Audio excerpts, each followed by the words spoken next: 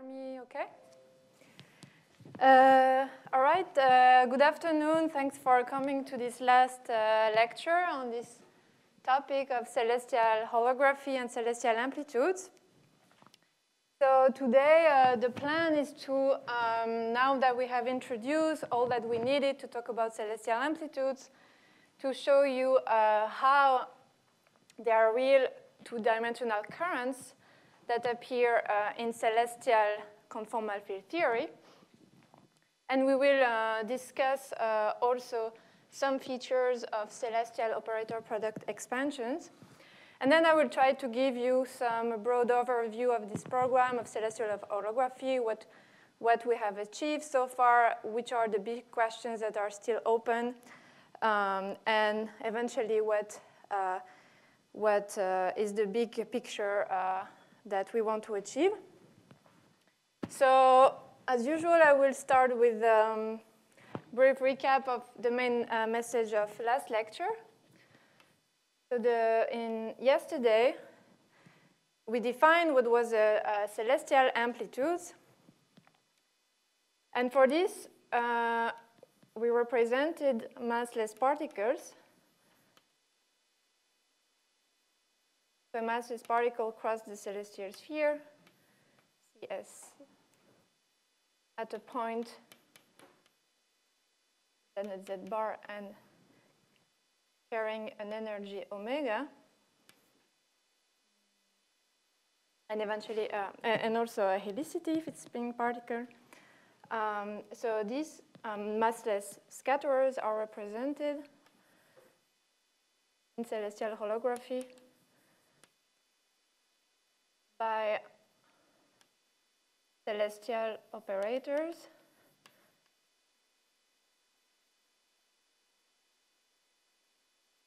denoted by uh, curly O, which carry um, a conformal dimension delta and a 2D spin. So the 2D spin is identified simply with the bulk for the helicity of the particle. This operator is inserted at some point z and z bar. And delta, importantly, plays the role of the conformal dimension.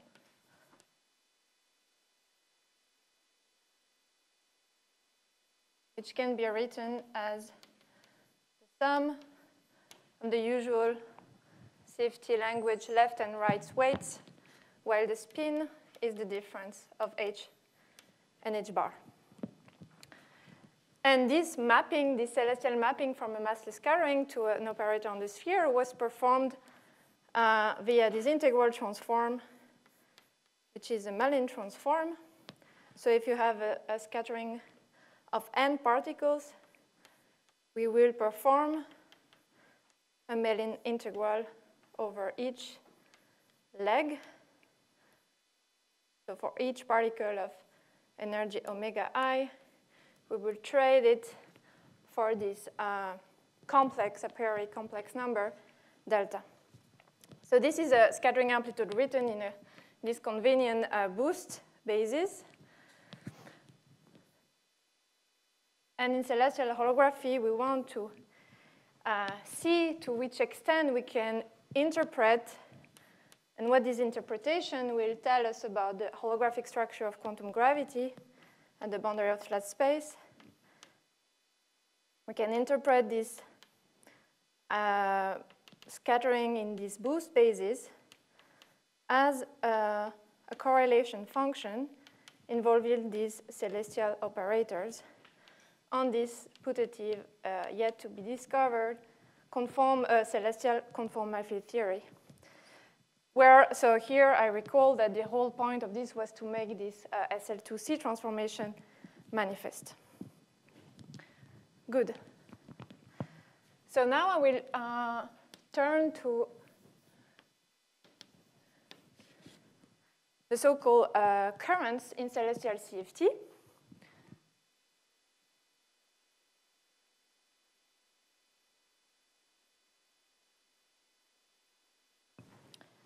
So these currents will appear when we take specific integer values of the conformal dimension delta. And we'll call them a conformally soft operator. So indeed, uh, in the, in the second lecture, we saw all these nice equivalences between um, Ward identity associated to, to asymptotic symmetries and soft theorems. Uh, so we, we saw that, call that the soft, I will mostly present currents for gravity, but we, we, I sketch also the story for the soft photon theorem. So the soft graviton theorem can be interpreted as some insertion of, um, of a current.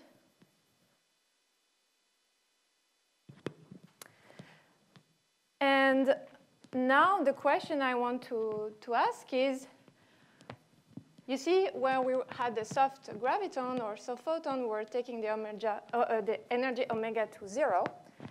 But now, when in celestial holography, we do no longer have energies to talk about because we have traded energies for conformal dimensions. So what does it mean in the celestial basis to be soft? Well, what uh, people have came to realize is that there is an analogous, or if you want a dual uh, uh, formulation of uh, softness. But now in the celestial basis, the statement of a particle to be soft so before we have energy, energetically soft particle, amounted to take on the energy to zero. Now we will be calling in celestial holography a particle which is soft in the conformal sense as a conformally soft particle. And the conformally soft particle or soft operator will be um, a uh, celestial object which, for which the conformal dimension take specific integer values. So these objects will play the role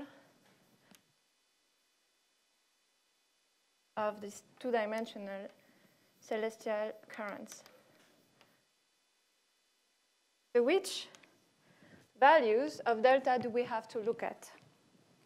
Well, today I want to present you uh, two specific values when delta is equal to 1 and delta is equal to 0.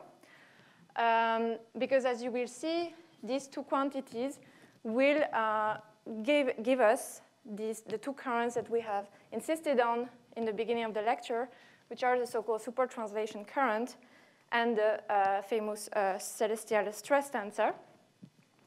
So let's start with uh, the first object, the supertranslation current.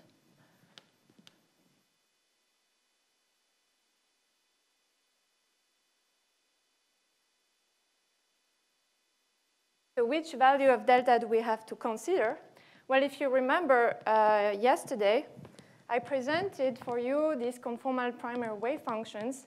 And if you remember, there was a primary that uh, was becoming a pure diffeomorphisms for, for delta equal to 1. And I told you, watch out, when uh, these guys are large gauge transformation, we should not uh, neglect this, these terms, and subtlety uh, should arise for these values. And indeed, the supertranslation current in celestial CFT is uh, a, an object, a celestial object, which has conformal dimension equal to 1. So remember, there was the conformal primary wave function that was a pure diffeo for this value. So naturally, since all this business is related to asymptotic symmetries and large gauge transformations, uh, it's natural that something uh, funny happens for this value. And the supertranslation current more precisely. So, so if you don't remember what it was, remember that we have these um, in the usual momentum basis. Let me recall what this was. We had the, the Ward identity associated to super translation.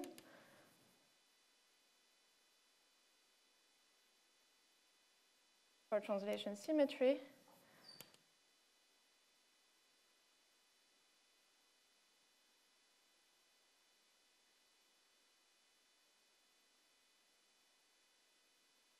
where we had statement that the S matrix commutes with the charge associated to this symmetry. I think I've written that in this uh, chart when we had different columns, that this Ward identity, if you split it into pieces, you put the, the left on this left-hand side of this equality, is equivalent to inserting this, P here, the S matrix. And inserting this object gives you the soft, leading soft Weinberg soft graviton theorem. And if you remember, we had this sort of expression. And I told you this looks like a U1 Kac-Moody current, but deformed with this energy omega. And now we will write this not in the, so here I, am still in the, the old basis, the momentum basis. Now we'll write this in the celestial basis, and we'll see that inserting this, this uh, object uh, makes some funny, has some funny feature in celestial CFT. So this P inserts uh,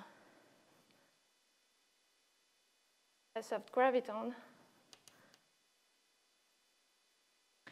So that was the, uh, the old basis. Now in the celestial basis, this object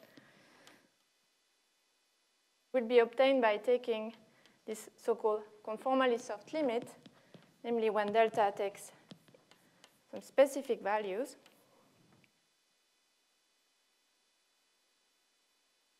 And actually, it will not be qu quite exactly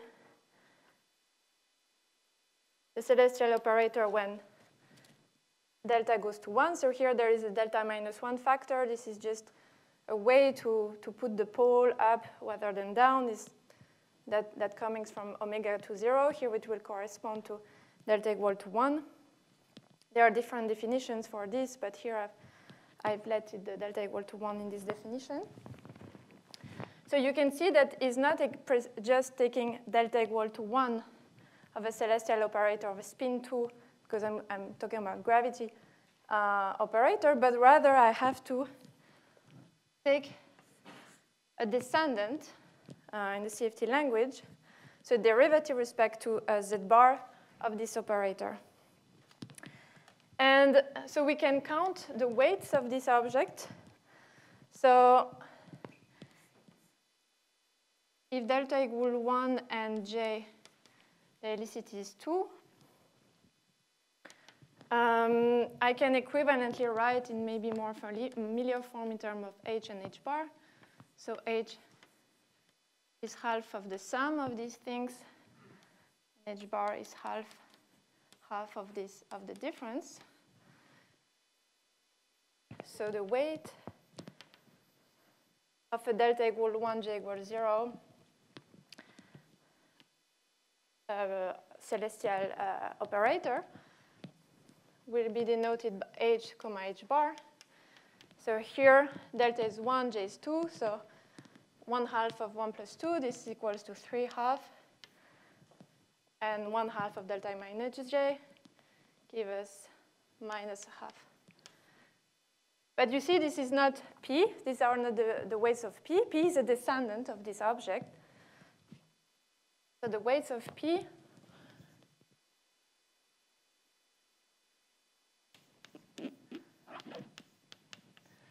So are given by the weights of this object, but now since I'm taking one z bar derivative, this will increase h bar by 1. So this is just the descendancy. so the weight of this super translation current is this uh, equal to 3 half, 1 half. So this is something that we are not familiar with in, in, in usual CFT. Typically, we talk about Kac-Moody currents, which have 1, 0 weight, or stress tensor, which are 2, 0.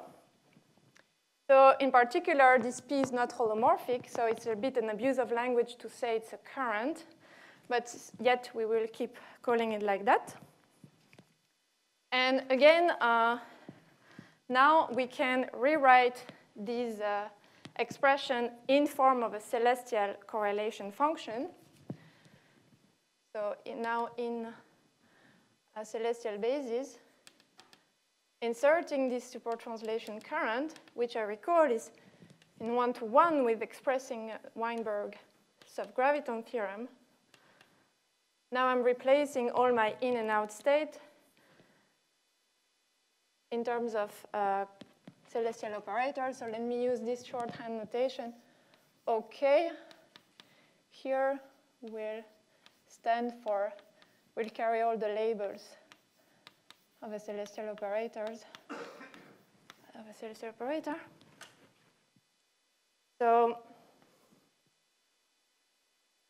if I insert this current into a celestial now interpreted as, as a correlation function on the celestial CFT.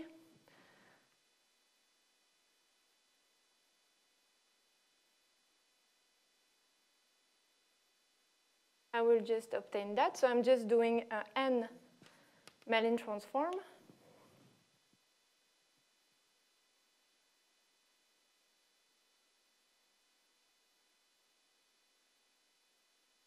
Can check this very easily. This is just by definition of, of what is a celestial operator as a Mellin transform of the plane wave. But now you see that before I had this, in the momentum basis, I had this omega here in the numerator. Now when I do the Mellin transform, which is here, because I have a, a delta minus 1 uh, upstairs, if I, if I want to rewrite this an operator as a, uh, as a correlation function in a celestial basis, you will see that this is just nothing but um, the correlation function, but now where the conformal dimension of the operator k is shifted by 1. This, so the shift by 1 is just because we had an omega here. And when you look at the Mellin transform, if you multiply this by omega, it's the same as shifting delta to 1 in the formula. So again, here we see that uh, the action of the super translation current, very importantly, shifts the conformal dimension of the operator in the celestial CFT, which again is something that we don't usually encounter in what people call vanilla uh, 2D CFT. But this is something that we have to deal with in celestial holography. Uh, this is just a consequence of supertranslation symmetry. We know that the symmetry is there. So we know that whatever is the dual uh, theory of quantum gravity in flat space written in this basis, it will have to obey this infinite amount of, uh, of relationship implied by supertranslation symmetry. So this, you see that already just by recasting what we know from the momentum basis to the celestial basis, we already see some features appearing uh, in, in the dual theory that, that is starting to tell us in which way this theory is different or familiar to the one we are, we are used to.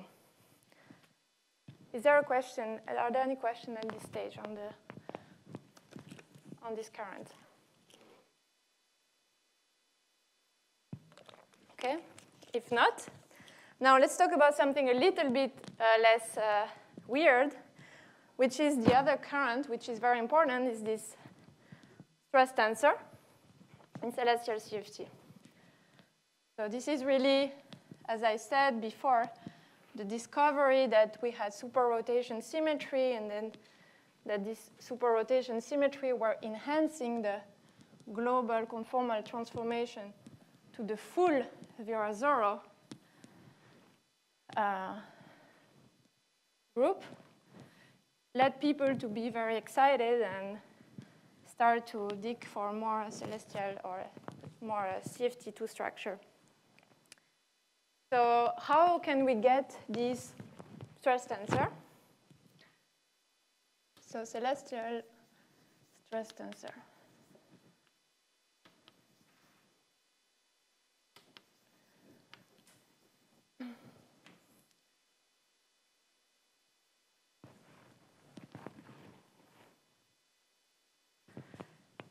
So this, this uh, stress tensor was first ob obtained in the momentum basis by the work of Andy Strominger and others uh, from really a reverse engineering from the subleading soft graviton theorem. And then they guessed what was the form of an object that they needed to insert in the S matrix so that it's consistent with the, the symmetry. But in the momentum basis, uh, uh, and in terms of the gravitational solution space, you remember this Bondi expansion I showed you before with the news, the shear. This object is really weird. It's a non-local expression. It's an integral over all null infinity of the, some derivative of the news tensor. It's a, it's, it was a really funny object that they really didn't understand why, uh, how to obtain this in natural way. And um, and now we can see this object uh, arising more naturally uh, as, again, a conformally soft operator. But there is a subtlety. The subtlety is that this stress tensor involves a so-called shadow transform in, uh, in CFT. So I, am not sure that this notion is familiar, so let me uh, define what is a shadow transform first. And this shadow transform actually is ubiquitous in the celestial holography program. It shows up. It leads to many confusions. Uh, so it's important to discuss it. It's not just a technical point. It's really actually uh, important in understanding what is the spectrum of celestial CFT. Do we do have to include all shadow modes or not? There are a lot of debate in the current literature on that. So if you start with um, the shadow transform of a primary, have to see primary of of weights uh, h and h bar. So again, h and h bar can be, can be traded for delta and j. So what is it? So define like so. Let me write it and then I explain.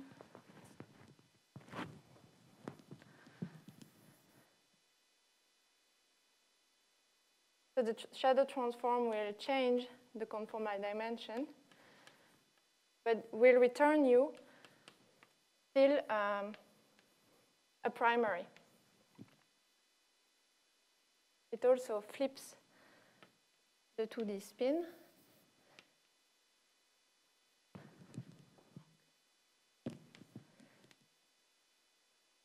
Sorry, Laura, is yes. primary or quasi-primary? It's a quasi-primary. Quasi-primary, yes. yes.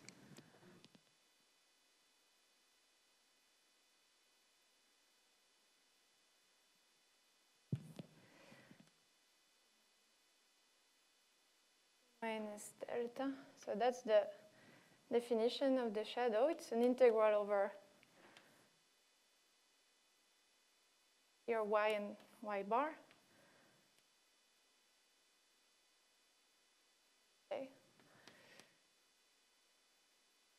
So there are some normalization here. Depends on the depends on the convention.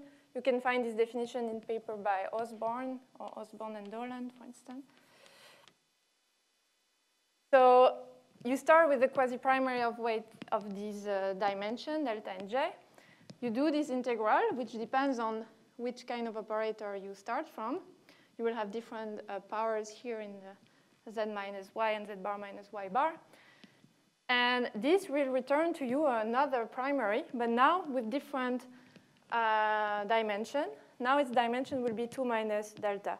So if I were to uh, write this in terms of h and h bar, you can see that if you start with something,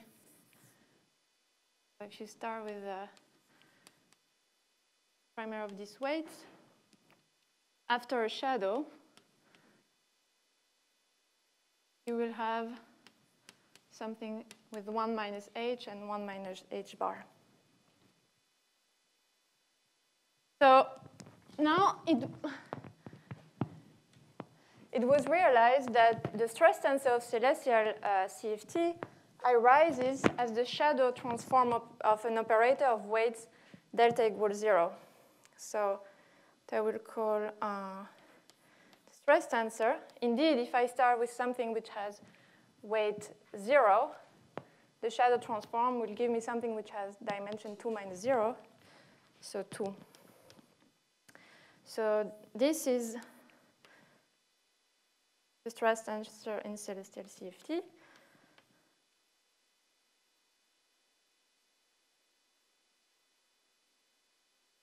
Again, there is this delta here.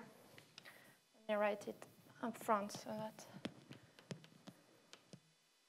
the limit when delta. Goes to zero of delta times this expression.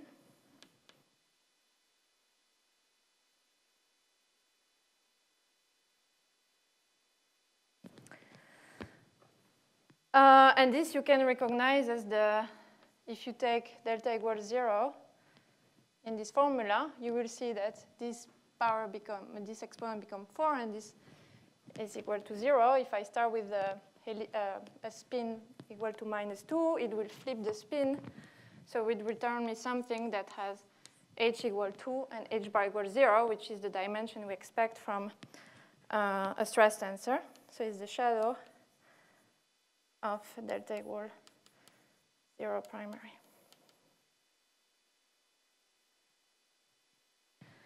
So again, the realization that this uh, was a stress tensor is really is, is long. It, it, it, it, came pieces by pieces by first this realizing this of uh, subleading soft graviton theorems, a reverse engineer, and then people say, okay, but there is a basis. Actually, this is what motivated to look at this uh, celestial basis was to look for a basis where the action of this T was, was uh, diagonalized. So it's a bit, um, was built, built on from all that. And here I'm just giving to you, so you might think, well, where does it, where does it come from? How could I have guessed it? Well, just looking at the dimension, you can guess, but uh, this shadow transform is kind of tricky, and it took some time to understand uh, why it has to be like so. But so the, the main property I want to emphasize on is that indeed, remarkably, we have an object that obeys the Ward identity of a stress tensor in a conventional in a conventional uh, CFT2.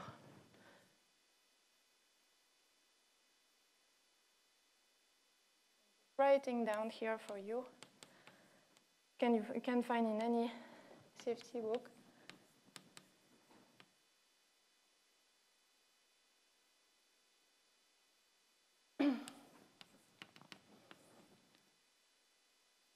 So this is the Ward identity of a 2D stress tensor, as it should be.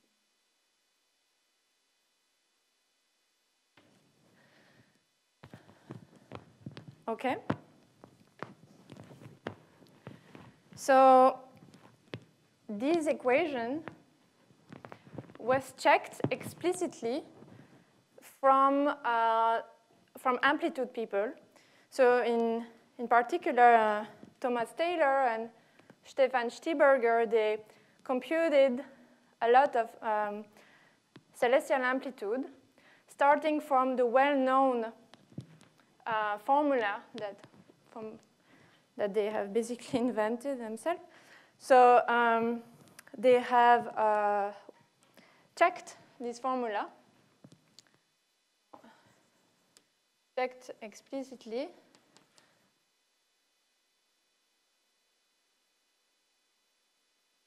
Uh, so by brute force, so you start with the momentum basis amplitude, and then you do a bunch of Mellin transform. So they looked at first Einstein-Yang-Mills amplitude. So with um, n gauge bosons and one graviton.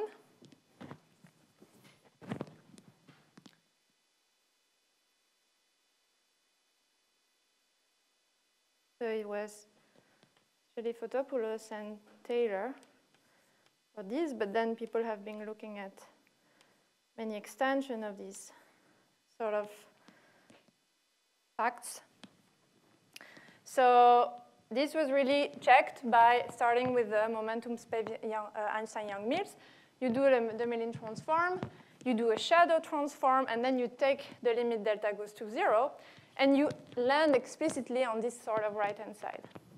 So what it shows is that if you represent uh, gauge bosons by celestial operators, it proved that these celestial uh, CFT operators are indeed full Virasoro primary fields because this is nothing but the definition uh, of how a Virasoro primary uh, should, if you want, transform. So this is uh, really uh, in one-to-one. -one.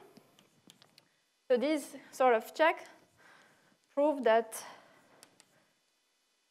CCFT operators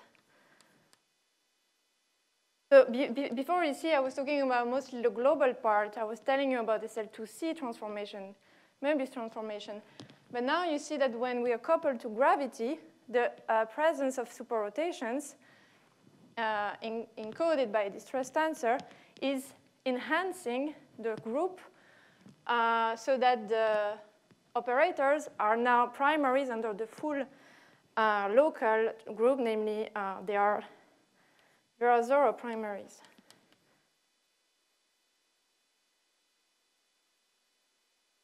And this we are very happy because this is something we know very well how to deal with in usual CFT2. So we might hope that because of that, we can exploit the techniques of 2D CFT into this uh, celestial holography program to sort of bootstrap uh, out of out of the, out of the blue the, the celestial theory. Is there any question on that? Yes?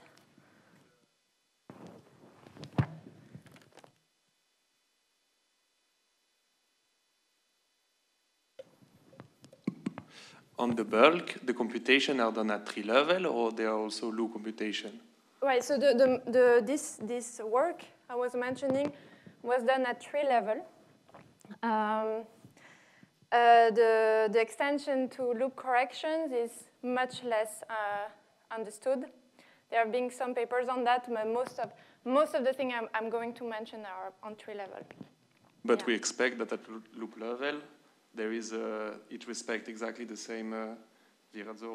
So, okay, so what happens is that the, um, subleading uh, soft graviton theorem has correction at loop level, but these corrections are one loop exact. So it is corrected, it's corrected at, at, at tree level, it's exact in all order of perturbation theory. One loop gets correction, but then there is no more correction. And these corrections are, um, if you want to re recast this soft theorem as Ward identity of an object, you have to include another contribution to this T here.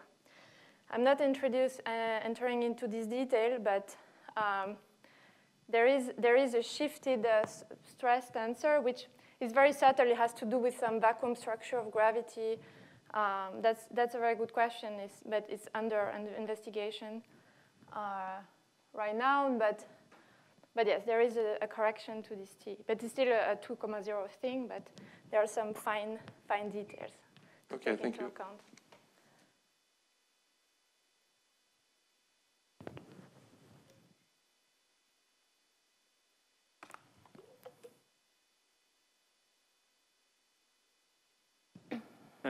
I didn't quite understand why we care that it, this T was shadow transform of a delta equals zero operator. Um, Why do we use it? we care because that's the only way you can you can get it somehow. If you um, if you um, let's see how can I explain it?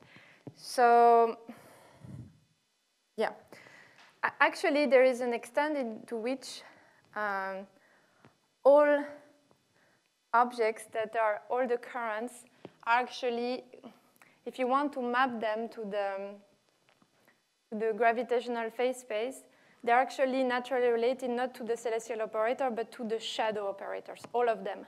Turns out that I didn't have to talk about that here because uh, the shadow of a delta equal 1 mode has also delta equal 1.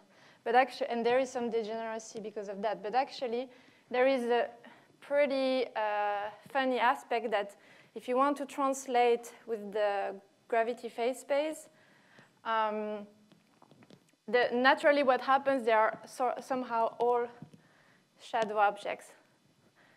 But uh, this is why we care. The, the, reason why we care is because this is uh, somehow uh, what it is. and if you don't look, if you don't have this idea of allowing for a shadow transformation, you would not see this object in the first place. And it's pretty non-trivial, no? That there is something of stress tensor in the boundary of flat space. I mean, why, why would it be so?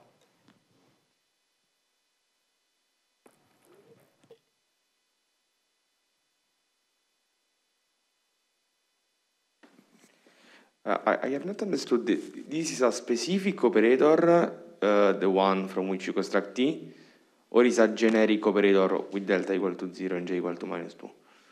Uh, this, this, this one. Yes. This O. So yes, this, this is a generic in the sense that it represents uh, the insertion of a massless graviton on the sphere with spin equal to, to uh, here to 2 or minus 2. I have analogous T bar, of course, with if I take j equal plus 2. Okay, but But, so, uh, yeah. so, so suppose you have more than one operator with, uh, with delta equal to 0 and j equals to minus 2. How do you know how to, to generate T, the stress energy tensor? Um, you mean if I have Degeneracy, let's say, no? Yeah, so all, I mean, all, um, yeah, so basically what differen differentiate these operators will, will be uh, what di differentiate their null momenta, for instance. And their null momenta carries a given energy uh, and a point on the sphere. This is the only thing I know when I'm looking at the celestial sphere. And, and so what I'm saying is that the stress tensor is related to the operator which insert a conformally soft operator because delta takes some specific values. But secretly, actually, you can see that uh, it's, it's equivalent to inserting a soft, soft graviton. So basically go, taking omega to zero is something I'm just saying, I'm just stating to you, but um, taking omegas to zero, you can see that from the structure of the amplitude, we'll select some poles when delta takes some in integer values. So apart from that, uh, does it answer your question? Sorry, would I say that the uniqueness of gravity, the fact that there is only one spin 2 massless particle, so if you wish assuming that in the S matrix, which is a very reasonable, then in the, the celestial CFT has to have a unique, there can be any degeneracy of this operator, so it has to be unique.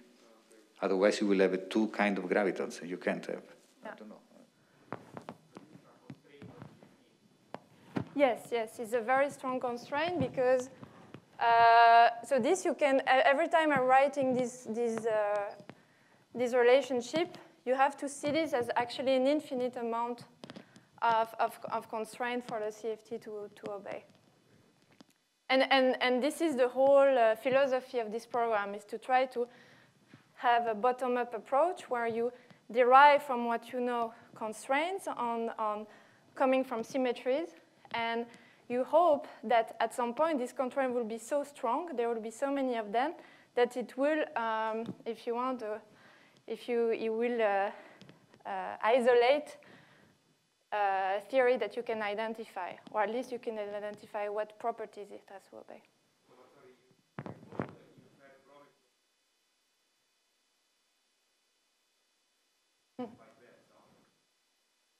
vice and versa. So I will come to that when I talk about the, the, where the program stands it.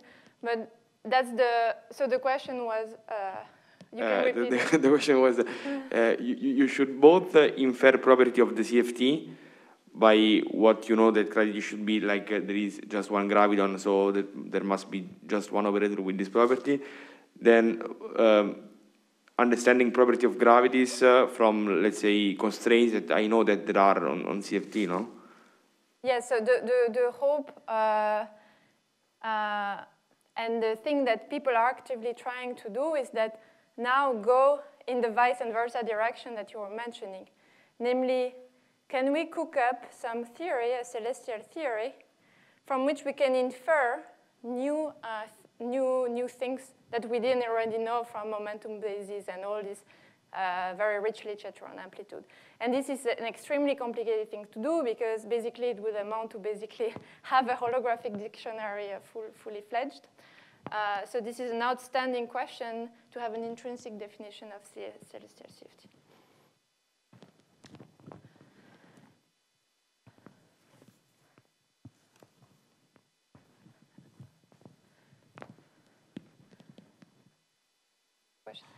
Okay, uh, very good. Thanks for the questions. So, yes, I will. I will come back to. Um, I will come back to to these big questions of what we know about celestial CFT so far, what we don't know. So, I have few minutes left before I go into the last section of this summary and outlook. Just the last thing that I would like to tell you is that there is a way to access the operator product expansions, or OPEs, in Celestial CFT. No, it's not 3.2 at all. 4.2. The operator product expansions by looking at uh, collinear divergences in the 4D uh, momentum space. So the statement, and you will, you will see why this is the case, collinear divergences of the 4D momentum usual stuff. So again, it's really bottom up. We'll start with all this uh, beautiful formula people have been developing in scattering amplitudes and see what it infer we can deduce in the celestial CFT. So these things extract for us the singularities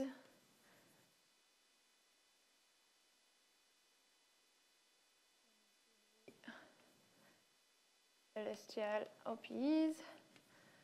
And there is a very stupid reason for that. That you remember when we parameterize the momentum of the particle like so.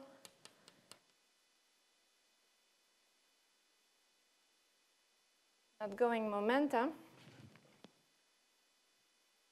If you take the product of two mom momenta, P1 with P2,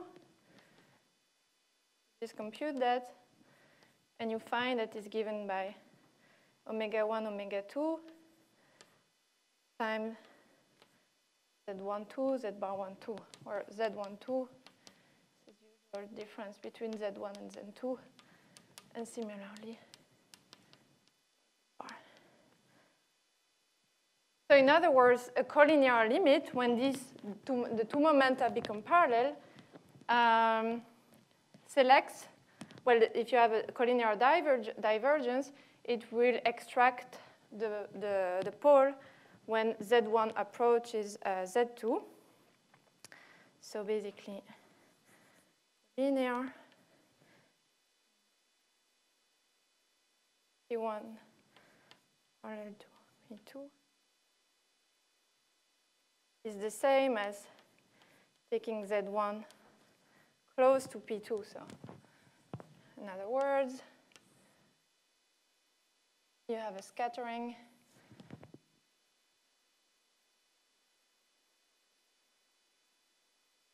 you take these two momenta to be linear. These correspond in the celestial sphere to look at Z1 approaching Z2. Okay? Then you have other, so you just take these two points to be close to each other. And then you have other insertions. So this very uh, simple kinematic uh, observation uh, can also be used to now extract OPEs in celestial CFT. Um, so I'm a bit running out of time here. So if you have questions about that, you can ask me in the discussion session. But let me just uh, mention a few results on that. So if you look at graviton, want to derive graviton OPEs, you can do so. Uh, let's take, for simplicity, two positive helicity graviton. So these are represented by two operators with j equal plus 2. They can depend, have each, they carry a conformal dimension. So these, the, the computation has been done in this paper. I want to look at. So they are basically um, two ways to derive uh, the OPE that I'm going to write down. The first method is brute force, namely you just you just uh, do your Mellin transform and you do your collinear limits, and you can compute it. So method one is force, namely star for momentum uh, amplitudes, look at collinear divergences. There are formulas for that. Do the Mellin, do the collinear limit, and you will extract this structure. So this has been computed. If you have mixed helicity, it's a bit more tricky. But now people start to know how to deal with things.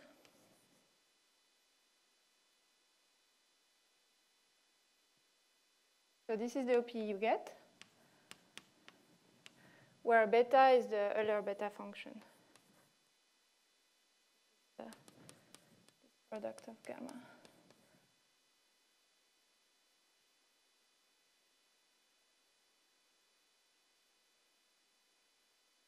So this is a, a, a computation you can do. And this, this second method, which is a bit uh, uh, more cute, is to just just use symmetries. So that's that's one of the very great thing uh, of these infinite dimensional symmetries that they are so powerful that you can they fully constrain the OPE coefficient. So you can actually don't do any computation, but just if you remember that you have uh, translation invariance and uh, the constraint implied by uh, the leading soft graviton theorem, you can see that these symmetries, actually, you, uh, little asterisk, you also have to know about the sub, sub leading soft graviton theorem I didn't talk about. But the main message I want to convey is that these symmetries, symmetry constraints, so you don't have to do this computation. They are powerful enough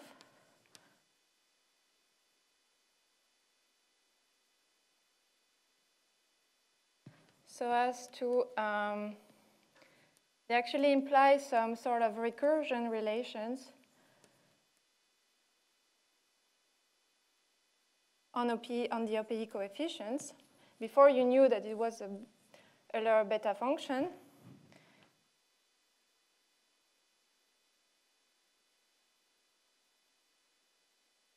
So, uh -huh, so as to imply OPE co coefficient.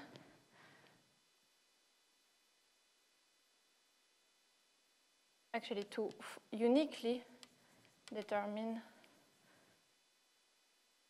determine the OPE coefficient. So the symmetry you need in this case, you need translation invariance, you need the leading soft graviton theorem. The subleading soft graviton theorem doesn't impose any constraint because by definition we are working in this SL2C uh, well, basis, so this is already implemented. And you also need the sub-subleading soft graviton theorem that I didn't talk about. So you can derive this, you can derive gluon OPs, you can uh, compute all sorts of things. And before I go to the summary, let me mention some, um, some uh, comments about which is related to, to this OPE and these currents. And it's the most more recent uh, literature. But with that, you, you almost, we have almost co covered the main features of celestial amplitudes. Is this observation that so, so that delta equal 1 and 0 up to what do you well, this shadow transform. This conformally soft limit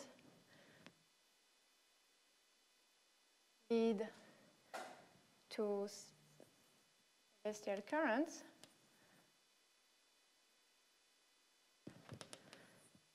But our recent work have been showing that there seems to be an infinite tower of currents where delta is running over all negative integers.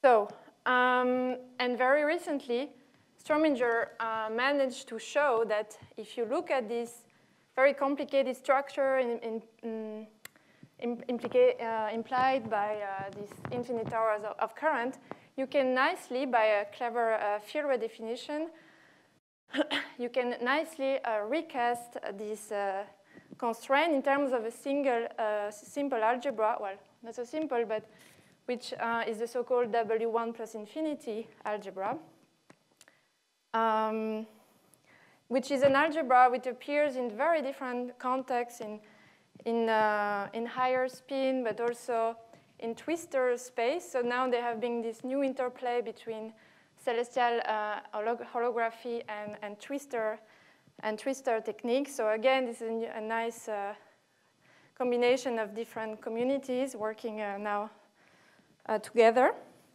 So unfortunately, I don't have much time to, to talk about that in, in more details. And um, I will just, I think, go to, to the summary of what we have learned in, this, in these uh, four lectures and what are the main questions that remain to be answered in celestial holography. So summary and outlook.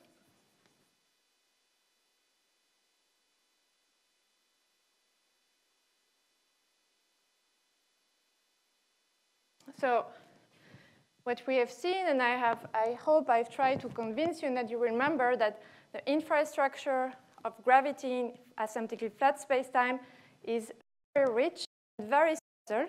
We have this infinite tower of symmetries of conservation laws that um, any consistent quantum, theory, uh, quantum gravity uh, theory should, should obey. They have an infinite amount of symmetries uh, which are constrained, constraining it. And celestial holography, the main point of this program is to make the full use, as much as we can, use of all these symmetries uh, to, constra to, constrain um, the holographic dual of 4D gravity. So which again, the main claim, or the main thing we are looking after the theory of quantum gravity in flat space-time in four dimension, which I recall uh, describe the real world to some extent, could be described as a celestial 2D CFT living on the celestial sphere. And this, uh, there is this promising uh, dictionary which involves which involve this Mellin transform integral, which makes this uh, SL2C transformation manifest. So we have to summarize and to finish, we have a similar feature that we are used to in usual CFT2. So the whole point is to understand what is, what is the celestial CFT2? Does it, does it make sense as a theory? Uh, how can we push this and how can we constrain this, this, this quantity? this, uh, this right-hand side here. So let me mention some uh, nice feature that we have seen. So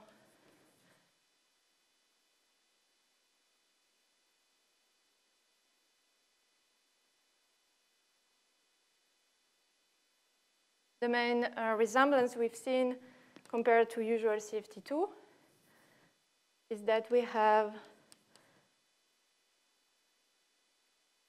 we have 2D currents, we have a Kac-Moody currents, we have a st stress tensor, which is far from obvious. Um, we have primary operators. We have also the descendants, and so on and so forth. But they're also very different. This theory is also very weird to some, to many regards. Uh, so let me mention some uh, funny feature we have seen. So first, we had this, the fact that this conformal dimension of this primary is a, a priori any uh, continuous uh, and complex uh, spectrum. We have seen that there is a super, the super translation symmetry give an infinite amount of constraint that we are not to uh, not used to in usual CFT because they uh, shift the weights of the operators by one, as I've written in the formula before. Shift the conformal dimension by one. And there are other things uh, I just uh, throwing at you, but I had some question before uh, regarding that, so it's maybe a time to answer. So for instance, if you look at the four-point function of um, in the celestial basis, you will see that it implies that the, the cross ratio has to be real, and all the points actually forced to be inserted. This is just a constraint from kinematics. They are forced to lie on the, on, on the equator of the celestial sphere. It's just a constraint from kinematic. And this is uh, something that we don't have in usual local unitary uh, 2D CFT. There are also weird things happening with the conformal block expansion uh, that, uh, that people are trying to treat uh, the best as possible, but this is also something that is not so uh, fully understood so far. And in the last minutes, um, let me, me tell you what are the big questions that are left to answer before I, I take all questions you might have. So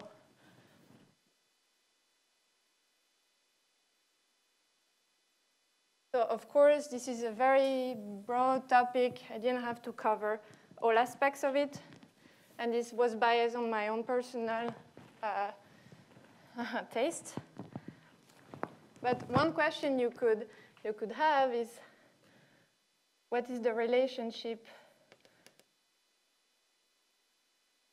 Or is there some way to, to use what we know from ADS CFT how, how could we relate um, the celestial correlators to the one of ADS. But really, celestial holography is very different from ADS CFT. So in ADS CFT, we have, we have this uh, nice time-like boundary, the boundary of ADS. But for flat space, gravity in flat space, we have this annoying uh, null boundary, and this is what all the difficulty comes about. Uh, because in ADS, what we are used to is we are used to put some reflecting Dirichlet kind of boundary condition, where we say that ADS acts like a box. But now in, in flat spacetime, as we have seen, we have gravitational wave escaping the boundary. So there is some leak of radiation that we have to uh, account for. So I think we have to deal, if we want to make this relationship precise, we have to understand how to deal with leaks of radiation in holography. So that's the first point. The second point we already discussed, but this amounts to say what is a celestial CFT, Namely, can we come up with the intrinsic definition rather than this bottom-up approach that most of the works have been following. Uh, so, or interesting definition or a list of properties, full list of properties that this theory should obey. Because so far, it was mostly bottom up from what we already knew from amplitudes. And we want a top down, we want, we want to start with the CFT and infer something we didn't already know in quantum gravity. And I think that in this regard, we are starting to do so because this nice symmetry structure that is emerging has compelled us to reconsider many aspects of, of gravity in flat space. We had to look deeper at new kinds of memory effects, new kind of observables. Um, we had to relax very much this Bondi-Metzner-Sachs expansion that I showed in the beginning. And we start to understand uh, how all these things are connected to each other. Um, so I think that we are getting there slowly. And finally, uh, I think one uh, very ambitious goal, which is actually at the core of my own research project, is to have some sense or to eventually use this program not to constrain just uh, assembly flat uh, spacetime, but spacetime which, which contain a horizon which have black hole inside. In the presence of a black hole, this story is way more complicated. Uh, but eventually, I think that this, this, uh, this paradigm can, um, can really learn, uh, we can really learn something new uh, in terms of conservation laws, what are the global conservation laws that uh, black hole spacetime have, have to obey. So before I finish, I wanted to thank you for uh, coming to the lecture and for your very interesting questions and comments. So thanks.